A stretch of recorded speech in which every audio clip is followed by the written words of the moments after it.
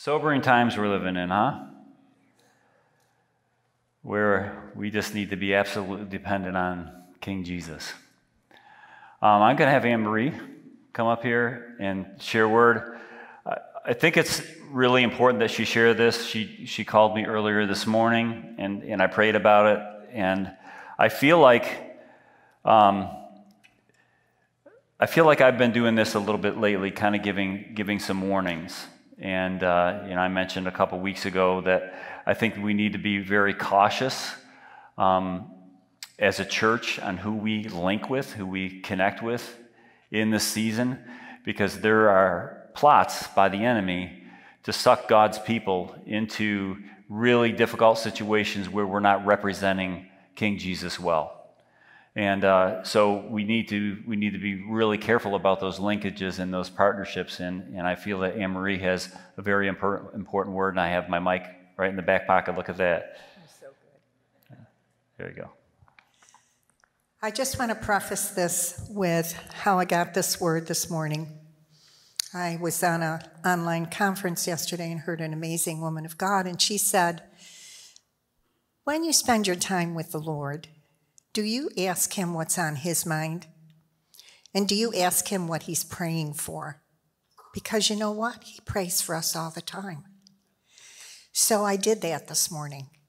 And this is what he gave me.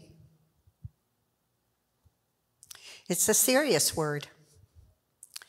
We no longer should live the rest of our time in the flesh to the lusts of men, but to the will of God.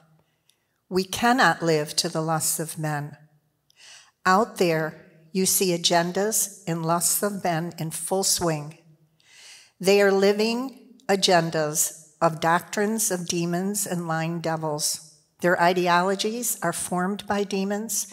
Their thoughts are formed by demons. Their behavior is deceptive to draw you away from the righteousness and justice of God.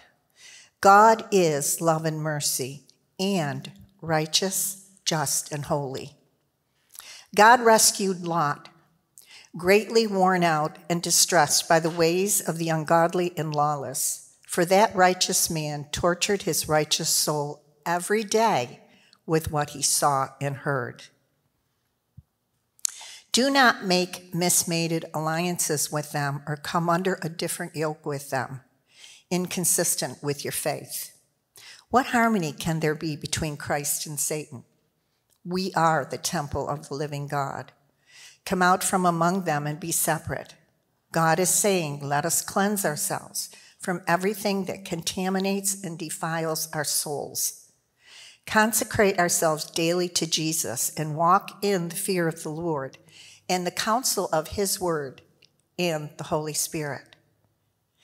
If the root is holy, so are the branches holy.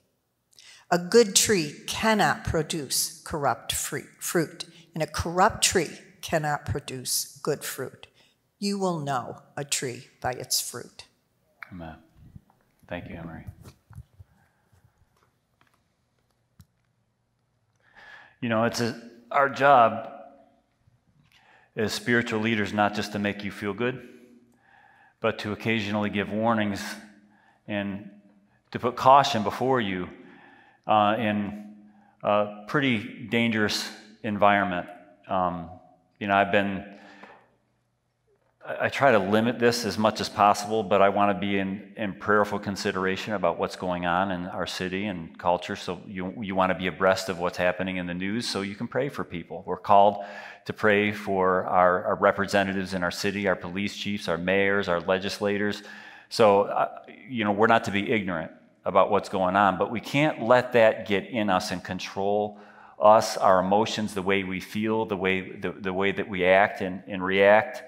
And, you know, we're in, we're in this really weird season too, where we have, uh, a, it's a presidential campaign. And we have a, a couple, couple leaders who, quite frankly, are acting like children and pointing fingers, you know, at each other and, you know, it's just, you know, blaming and blame shifting, and it's just, it's, it's exhausting. I don't know about you, but it just gets on me, and it's just, and it's just tiring.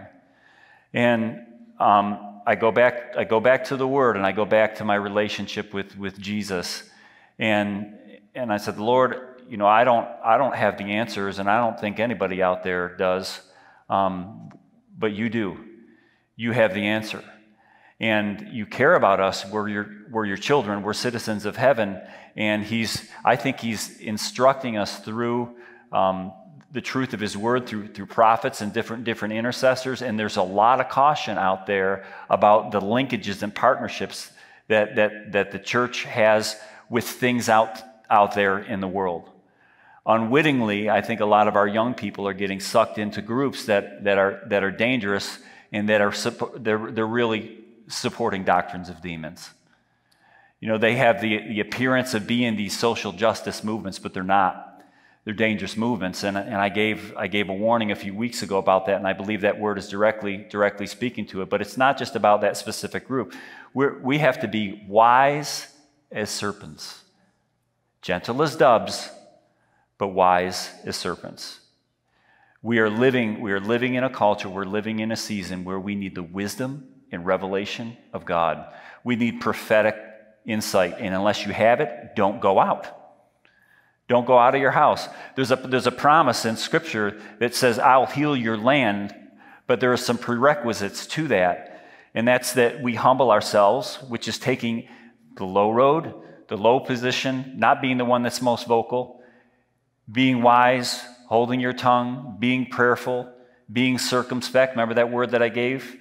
Gave you that the Lord was speaking over the church to be to be circumspect, to be to be cautious. Um, we're living, we're living in that season. And that's a call to his entire church to be, to be cautious. So, Anne Marie, I appreciate you just sensing that and feeling so strongly and submitting that. And I believe that's a, that's a really important word. Because we're seeing a lot of, a lot of people that are yelling, yelling and, and posturing in the world of, of you know, this, this crazy political and, and social activist environment. And, uh, he wants his people to rise to the occasion, but not to do it the way the world does. I think what we're seeing is a failure of mankind to be able to govern himself rightly. And we think the answer is in a democratic process or the right president, but it's not. You know, I, I, believe that I believe that leaders, our, our police force, you know, our, our, our presidents, our laws can restrain evil, but ultimately does nothing to fix a man's heart. And there's there's this there's this thing in a, in a man's heart that's corrupt until it's until it's transformed. And, and unless we're careful, we can give into the flesh, even as sons and daughters of God, and do things that won't expand the kingdom, but do the opposite, but resist the kingdom. The last, uh, the last few weeks and the next, the next few weeks, I don't know how long, but we're going to be talking about the kingdom. Really, you can read anything in the Bible and it's, it's talking about the kingdom. Um, yeah, I, actually, all of our messages really are about, about the kingdom. That was, that was Jesus' priority. His focus was about the kingdom because he knew that the kingdoms of this earth would fail. And if our eyes are not on the kingdom of God, on the kingdom of heaven and his rule and his reign, we will be sorely disappointed. You know, we can't bank on, you know, most, most forms of government have come and they've gone. And there are some people believe that the Democratic Republic, that it could come and it could go. And ultimately it will go because when Jesus comes back, he's going to replace it all because, because it's all imperfect. Because men are imperfect and men are running it. And unless, unless the church really zeroes in and, and makes Jesus the king of their life in every area of their life, then heaven will not be manifest. We won't bring heaven to earth because that's our call as sons and daughters of God to bring heaven to earth. But there's, there's only one way to do that, and that's the Jesus way.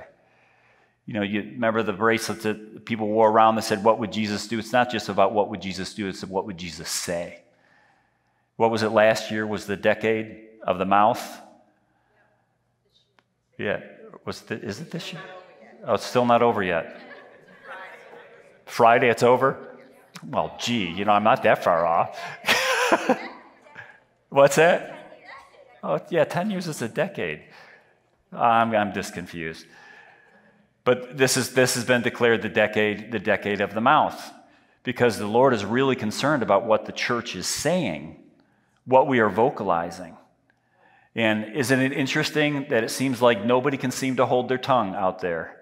It's like now we have social media platforms so that we can say something and everybody in the world can see it in a moment. And I think the church, church catches itself embarrassing itself in not representing and, and, and reflecting the glory of God because what we say and what we do and who we partner with. And the Holy Spirit's warning us in this season. We need to rely on not an earthly king, but King Jesus who's sitting on the throne. You know, the nation of Israel thought that they found a better way to govern themselves. And they thought, well, you know, every other nation around us has a king. Maybe we need a king. You know, before that, um, there were judges that would rule, and he would raise up judges to deal with specific issues, and then those judges would kind of fade into the background because God was king. He wanted a theocracy. God wanted, he wanted to be king. He wanted to rule his people, but that wasn't good enough for man. And, his, and, and man, in his wisdom, thought, well, we need a king. And look at the first king that Israel got King Saul. Didn't pan out very well. You know, 1 Samuel 8, 6, and 7, it's recorded where the Israelites were, they were complaining to, uh, to Samuel because they didn't like his two sons who happened to be judges and they weren't following the ways of the Lord. And the Lord told Samuel this because Samuel was concerned about this. He said, Listen to all the people and what they're saying to you. They haven't rejected you. So evidently, Samuel was feeling a little bit insecure. He probably realized he blew it by raising up his sons to be judges because it doesn't, it doesn't say in Scripture that, that the Lord told him to do that. But maybe he was just getting tired and he was getting old. Well, I'm going to let my going to let my boys do the job, and they didn't do a very good job. And, you know, so he's feeling insecure. Maybe he's feeling like he made a mistake. And, and the Lord's telling him, they didn't reject you, Samuel. They've actually rejected me as their king. I think we're living in a time that's prophetically significant of Romans, Romans 8, 19 through 22, where it says, the, For the earnest expectation of creation er-, eagerly waits for the revealing of the sons of God. For the creation was subjected to futility, not willingly, but because of him who subjected it in hope. Because creation itself also will be delivered from the bondage of corruption into the glorious liberty of the children of God. For we know the whole creation groans and labors with birth pangs together until now. I think the whole earth is groaning with birth pangs, waiting for the sons and daughters of God to be revealed. Think what we're experiencing in the world today is a tension between what is now and what will be. The, real, the world is really crying out for a truly righteous king, a truly righteous individual that will reign on a throne. And there's only one individual that would do that, and that's King Jesus.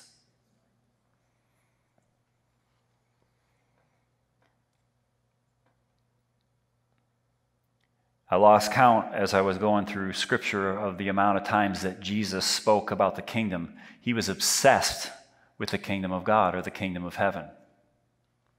He was obsessed with it. I mean, he started out his ministry, the kingdom of heaven is at hand. Uh, half his parables were about the kingdom. Really, all the totality of his sermons were about the kingdom. It was about, it was about his reign in the kingdom of heaven. It's kind of become my latest obsession because I realize as much as I'd like to bank on the Democratic Republic and maybe voting in the right president to fix everything, I don't think it's going to happen. I think the Lord's making that obvious. Now, I think that we can, we can vote for somebody that is more righteous, that, that, that, supports biblical values, and I think we have a responsibility to do that. It shouldn't be about a personality con- contest, it shouldn't be about color of skin, it should be about who is best rep- representing biblical principles. I think it does matter who we vote with. I think we need to individually go before the Lord and ask for, ask for direction. And then sometimes He gives us what we, what we deserve anyhow and maybe it's not the person that we voted in. But just understand that even if the right person gets voted in, the person that you voted in, it's, he's, he or she's not going to fix this mess.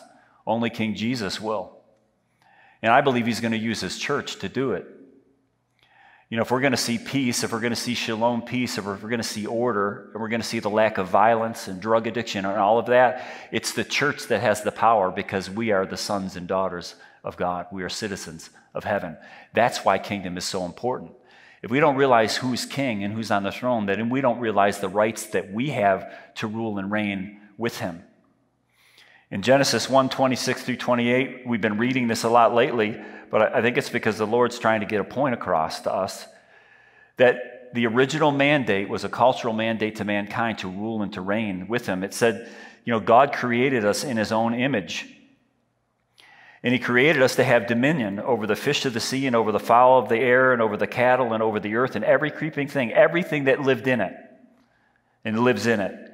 He gave us rule and reign for over. But there's something that he didn't give us rule and reign for, and it seems like that that's what we spend most of our time trying to controlling. What would that who, or, who would that be? You notice it doesn't include mankind? It says we're supposed to subdue and take dominion over this earth that He's given mankind, but it never says that we're supposed to control each other. And that's what I, I find that most people are trying to do. That's what I that's certainly what I try to do as a father to control my children. But it, but it seems like all everybody out there just wants to control everybody. And that's never been our mandate. We're supposed to submit to the Lord Jesus and we're supposed to serve one another. Being sons and daughters of God means that we take dominion, we steward all that He's given us, every resource that He's given us, this earth that He's given us, we steward it properly. But that's our job, and that's where our job should end. Now, He does give us direction in other passages of Scripture. In Ephesians 3 9 through 11, it says, And I will make all see what is the fellowship of the mystery which from the beginning of ages has been hidden in God, who created all things through Jesus Christ, to the intent that now the manifold wisdom of God might be made known by the church. Not to men, but to the principalities and powers in heavenly places, according to the eternal purpose which He accomplished in Christ Jesus our Lord. You know, there's something else that we're supposed to not give into, and that's the enemy. That's Satan and his demonic forces. And I see Christians unwittingly giving into that by not representing and reflecting the glory of God, the love of God, the patience of God, the long suffering of God. You know, we are, in a sense, partnering with the enemy. And we're supposed to manifold his wisdom. We're supposed to display his manifold wisdom. And, you know, people are not our enemies. We're not supposed to control people, right? There are, there are a lot of people that I would love to control. I would love to, you know, take a zipper and put it over certain people's mouths, but that's not, that's not what we are called to do. We're called to pray for them and pray blessing over them and pray, pray that they would have wisdom and revelation. We, we should never be pitted against people. And I think a lot of these protests were pitted against people. A lot of people are screaming for justice, but it's not God's justice. They've already, they, they, they've made the verdict in their mind. That's not justice, and that's not God's justice. Matter of fact, you wouldn't be very comfortable with God's justice because He would let most people off. When God, if people ask for forgiveness, He would just forgive them, and that would be the end of it. We as Christians don't even do a good job with that. But we're called to be sons and daughters of the King, citizens of heaven. We're supposed to display the manifold wisdom of God, and that manifold wisdom means the heart and the mind, and the will, and the desire. You know, I think it's good practice. That bracelet, what would Jesus do and what would Jesus say? I really think it's good practice nowadays. Before you do anything, before you say anything, before you join any group, before you do anything, you should ask Jesus, what do you want me to do? And I have a feeling that he might put a stop to a lot of your efforts to solve problems. Galatians 4 4 through 5 says, But when the fullness of time come, God sent forth his Son, born of a woman, born under the law, to redeem those who were under the law, that we might receive the adoption as sons. I think that we forget that we're sons and daughters of God. If we, are, if we really had a revelation that we were sons and daughters of God, we would be a whole lot less worried about what's happening in the world. Concern? Yes. Grief? Yes. Not worry. Not anger, which produces wrath if we give into it.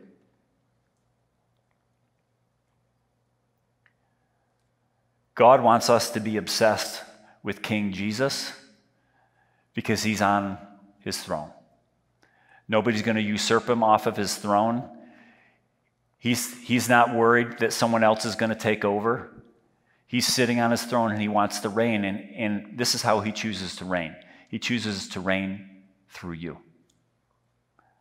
So the question is are you reigning? Are you acting like you're citizens of heaven or are you acting like you're citizens of this earth?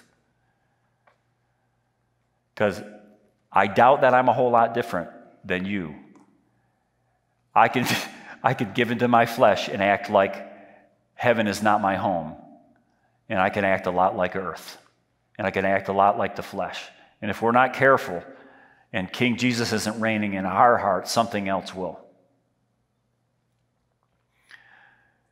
You know, the problem with all human governments is not the type of government, it's not socialism, it's not communism, it's not a kingdom, it's not being ruled by a king or directed by a president. The problem is human nature.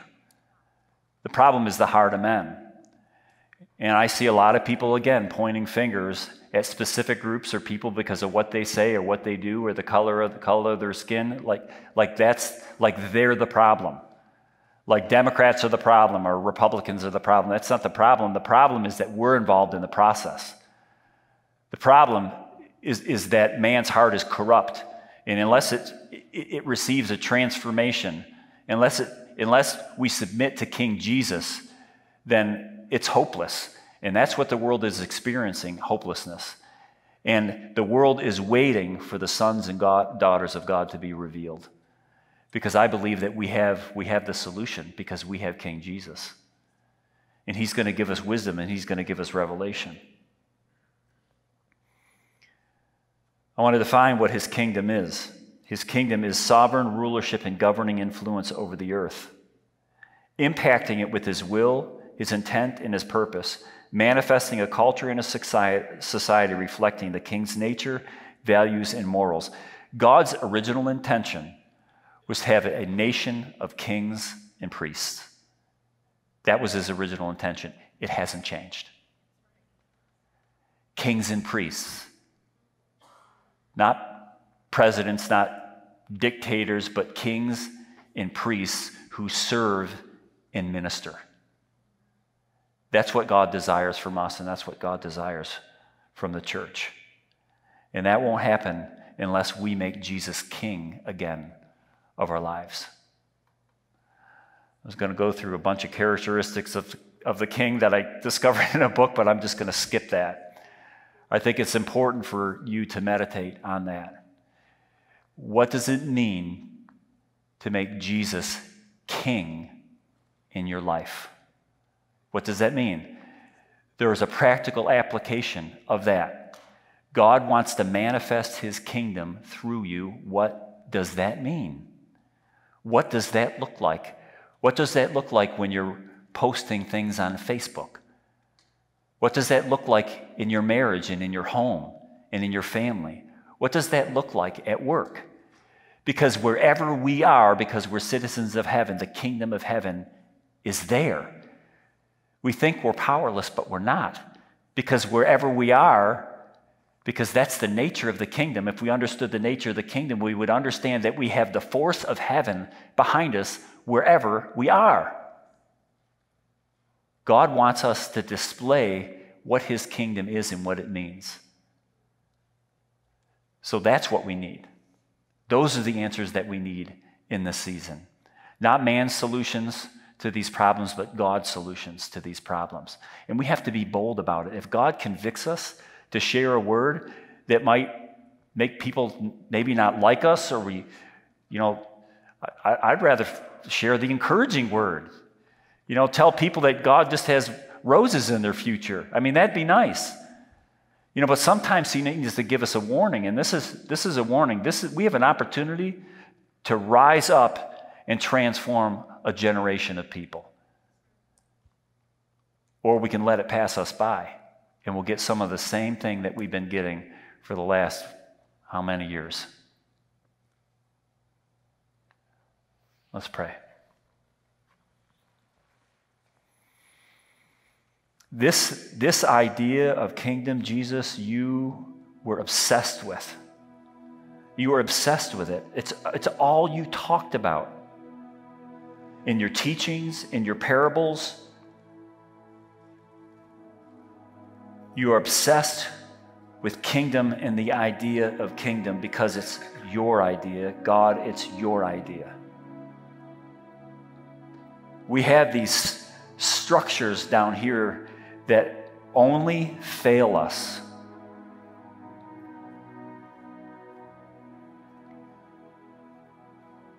I don't want to minimize what government does. I don't want to minimize what law enforcement does. We need all of them, and we're to pray for them.